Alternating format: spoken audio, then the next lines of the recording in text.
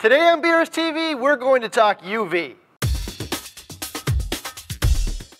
Hi, I'm Ryan, host of BRS TV, where each week we cover a new topic related to reefing. This week we're going to talk about UV sterilizers, why someone would use one, how they work, common misconceptions, is there a better solution, followed with a few install tips. UV sterilizers are probably one of the more hotly debated topics in our hobby, and almost everything you read on them is someone's opinion based on anecdotal experiences, something they heard somewhere, or an outdated or improperly done study based on systems very different than a home aquarium. Regardless of if they're effective or not, reefers all over the world commonly use them to reduce the outbreak risk of disease, algae, pest bacteria like cyano, and increase water clarity.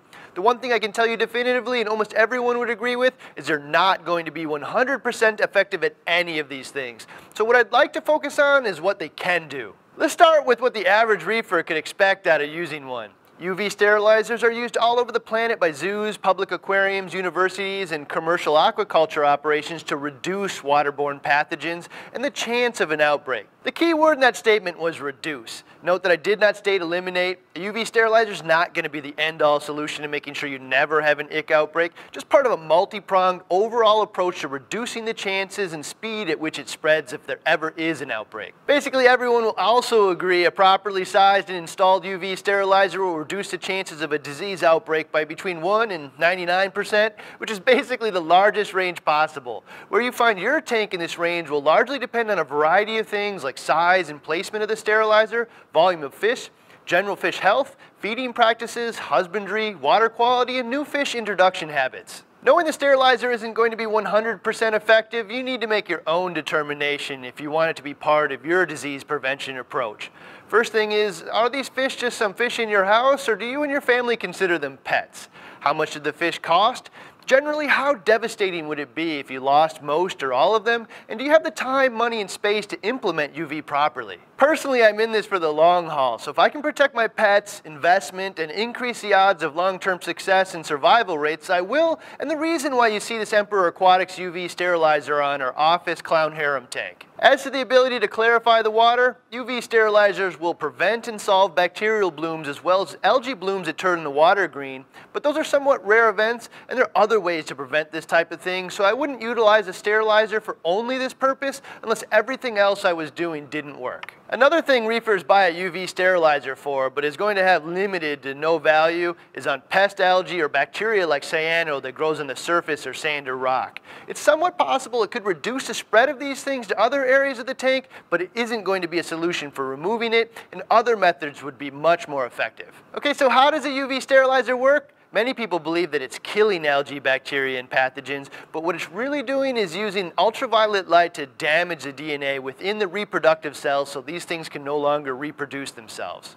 How effective it is at this is a combination of three things. Strength of the UV bulb, contact time with the bulb, and the amount of time the total system water volume passes through the sterilizer each day. For that reason, UV sterilizers that are actually capable of working are often large, higher wattage, and as a result, not inexpensive as well.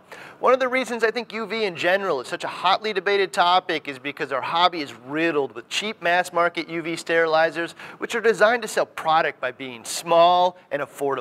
I think your best bet is to look for a sterilizer that's marketed to and used by the industries where they've been effective using them, such as zoos, public aquariums, and aquaculture facilities, where survivability equals profitability. This is why at BRS we currently only offer the Emperor Aquatics line, which has been popular in these industries for ages. You'll notice some pretty big differences on the recommended wattage and physical size between the Emperor Aquatics UV and hobby grade sterilizers.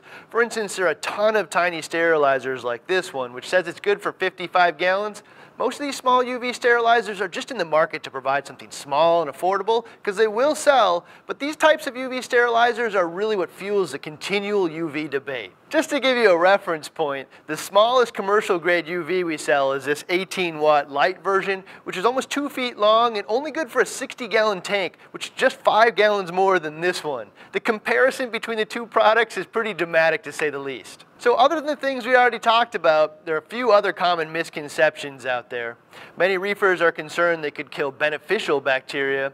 Well, it is possible the sterilizer will damage some bacteria. Almost all of the beneficial bacteria lives on the surfaces of the rock, sand, or filter media where the bacteria will never pass through the UV filter, so this is very likely to never have any meaningful impact. There's also no end to the list of heavily stocked reef and fish-only tanks that utilize UV, which supports this fact. Some reefers are also concerned they might damage or kill some copepods or amphipods. Basically the same thing here. If one got sucked into the pump and stayed inside the sterilizer long enough, this might be true, but a very small portion of the pods in the tank are going to wander into the pump intake. It's pretty common for reefers to add a UV sterilizer during a disease outbreak thinking it will help cure the fish. Since the organisms harming the fish are on the fish itself, the sterilizer is going to have little to no impact on the current outbreak and the fish already affected. It might prevent or slow the spread, but even that might be unlikely at this point. That said, nothing makes you want to add a preventative measure like this more than experiencing an outbreak, so it's still not a bad idea to implement to help reduce the chances that this will happen again in the future. So if a UV sterilizer isn't 100% effective, is there a better solution? Absolutely. Quarantining and treating every fish before you add it to the tank, maintaining a low volume of fish, good husbandry, excellent water quality, and providing a proper diet will be a way more effective solution fighting against disease. But some of these things are just not practical for every reefer, and even if they were, a UV sterilizer is just going to improve the results. So there are a lot of better options, but all of them together really is the most effective solution. Just a couple of tips on installing your UV. The first is select the right unit for the tank. If there's one thing that you should learn from this video, it's don't undersize it or it's pretty much a waste of time. Well, I wouldn't go crazy. Oversizing the sterilizer isn't going to hurt anything. The Emperor Aquatics models come in a variety of wattages as well as a light, normal, and high output model. Pretty much the difference between the first two is just the size of the tube going from two and a half inches to three and a half. The larger pipe takes up more insulation room but also increases contact time with a larger volume of water. There's also a high output version which uses a high output bulb and a 5 inch tube. Nice thing about the high output versions is while the units are a bit fatter, they can handle really large systems without getting ridiculously long. For instance, this 50 watt system can handle a tank up to 330 gallons. Getting the right flow rate is also critical. Again, this is about contact time and cycling the entire system water volume the correct amount of times in a day. For instance, this 25 watt sterilizer needs between 330 and 550 gallons per hour for algae and bacteria, but for protozoa and protecting the tank from disease outbreak, it's only 55 to 92 gallons an hour. This range is based off lamp life, so I'd shoot for the low end to make sure you have the proper contact time as the bulb ages. When selecting a pump, make sure you select something that can handle head pressure and not something small like a MaxiJet or MJ. These Sicce silent pumps are nice. If I'm shooting for 55 gallons an hour but need to pump it up a few feet through this large sterilizer, I might select something like the Sicce Syncra 2 rated for 560 gallons and use a control knob on the front to tune it for the right flow rate. Easiest way to measure the flow rate is time how long it takes to fill a gallon jug and do the math. For instance, if it takes a minute to fill a gallon jug, the flow rate is around 60 gallons an hour. Lastly, all of the Emperor Aquatics UV systems come with unions which allow for hard plumbing. If you'd like to use hose or tubing, you can pick up a couple of these spigot to barb adapter fittings and glue them in. If you have any questions about UV or advice for your fellow reefers, check out the comments area below.